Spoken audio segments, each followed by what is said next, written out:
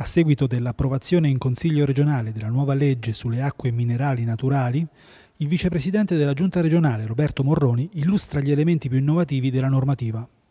Credo che ieri l'Assemblea legislativa dell'Umbria con l'approvazione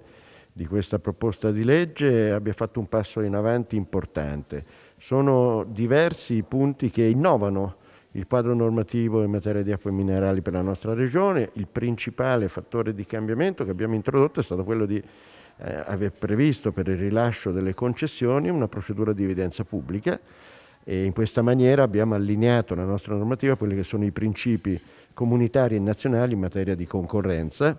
e credo questo che eh, indubbiamente sia un tratto qualificante della norma. Accanto a questo abbiamo cercato anche di prevedere una serie di norme che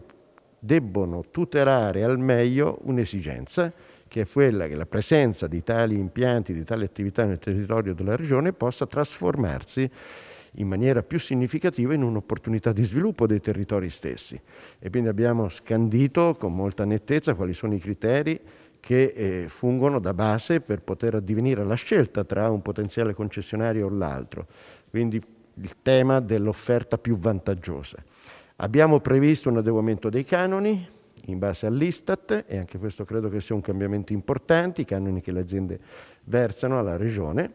eh, perché dal 2008 questi erano immobili, erano fissi, quindi l'adeguamento annuale eh, crediamo che sia un passaggio anch'esso importante. Poi un altro tema rilevante